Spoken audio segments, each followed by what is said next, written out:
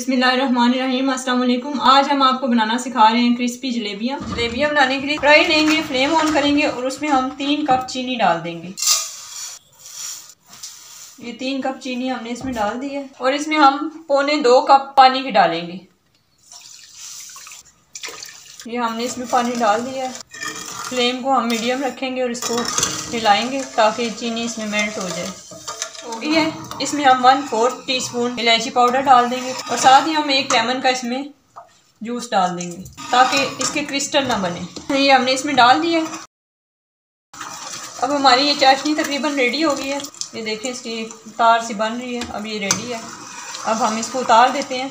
इसको हमने दूसरे चूल्हे पे शिफ्ट कर दी है और बिल्कुल हमने दम वाली आँच इसकी ऑन कर दी है, ताकि ये चाशनी हमारी ठंडी ना हो। और इसमें जलेबियाँ अच्छी तरह सोक हो जाए। हम जलेबियों का बैटर तैयार करेंगे। उसके लिए हमने दो कप मैदा ले लिया है और इसके अंदर हम टू टेबल स्पून ऑयल के ऐड करेंगे। ऑयल या घी आप, जो आपको पसंद है वो आप डाल सकते हैं इसके अंदर। फोर टेबल स्पून हम इसमें दही के डालेंगे। दही से जलेबियाँ बहुत अच्छे तरीके से फूल जाएँगी और ऑयल से क्रिस्पी होंगी। अब इसके अंदर हम वन टीस्पून बेकिंग पाउडर डालेंगे। बेकिंग पाउडर डालना है बेकिंग सोडा नहीं डालना। और इसमें वन टीस्पून हमने जर्दे का कलर डालना है। अगर आपको कलर वाली जलेबियाँ पसंद हैं तो आप डाल दें। अगर नहीं पसंद तो आप इसी तरह भी इसको बना सकते हैं। अब इन सारी चीज़ों को हम मिक्स करेंगे। एक कप पे हमने पानी लिया है और वो भी साथ साथ हम डालेंगे जितना हमें ज़रूरत होगा। पहले हम थोड़ा डालेंगे। एकदम से हमने सारा पानी नहीं डालना थोड़ा थोड़ा करके डालना है। क्वार्टर कप पहले मैंने डाला है, इसको मिक्स करूँगी। ये हमारा बैटर रेडी हो गया है। इसमें तकरीबन एक पूरा कप और एक क्वार्टर कप पानी हमने इसमें डाला है। इस तरह की कंसिस्टेंसी हमें इसकी चाहिए। ये मिक्स हो गया अब हम इसे शिफ्ट करेंगे। आप जिप लॉक बैग भी ले सकते हैं। ये केचप वाली बॉटल है, मेरे पास ये मैं ले रही हूँ। इसके अंदर हम इसे डालेंगे। ये हमने इसमें डाल दिया बैटर। अब हम जलेबियाँ बनाना स्टार्ट करते हैं। जलेबियाँ बनाने के लिए एक पैन लेंगे, उसमें ऑयल डालेंगे। ऑयल को गर्म करेंगे। फ्लेम को बहुत ज़्यादा हाई नहीं करना और बहुत ज़्यादा डीप फ्राई नहीं करना। ऑयल हमें बहुत ज़्यादा नहीं लेना। ये हम इसमें जलेबियाँ डाल रहे हैं।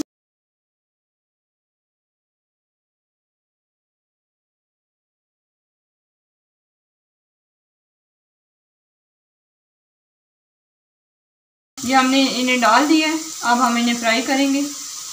बहुत हाई फ्लेम पे, इन्हें फ्राई नहीं करना, वरना ये फ़ौरन जल जाएँगी। जब ये ऐसे ऊपर आ जाएँगी, फिर हम इन्हें पलटना शुरू करेंगे।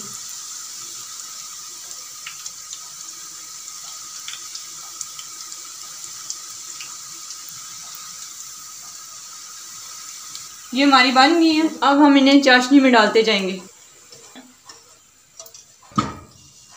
ये हमने इसमें डाल दिए हैं।